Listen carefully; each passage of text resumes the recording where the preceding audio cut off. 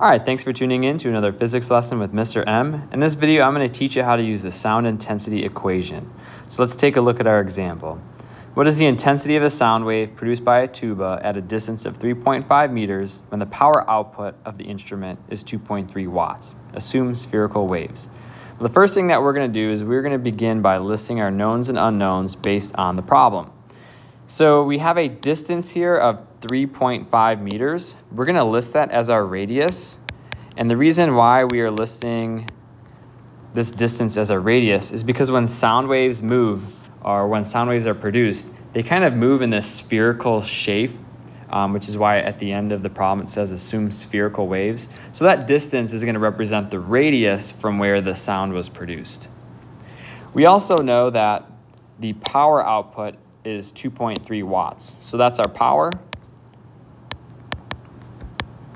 And then the question itself asks, what is the intensity of the sound wave? So that's our unknown, that's our intensity. And intensity doesn't necessarily have a single letter unit, we just kind of abbreviate it to INT.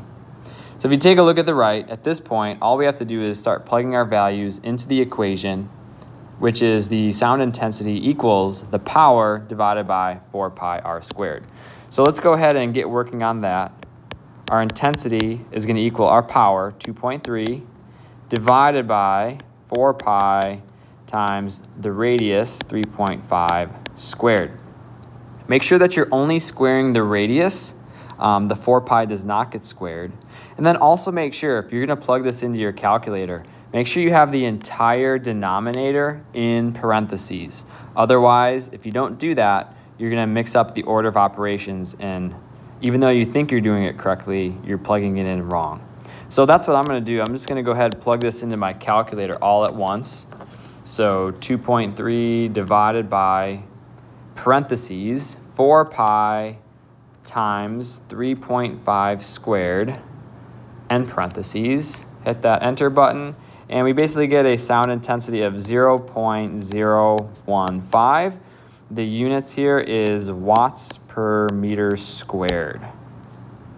All right, thanks for tuning in. I hope this video has helped you solve your own physics problem.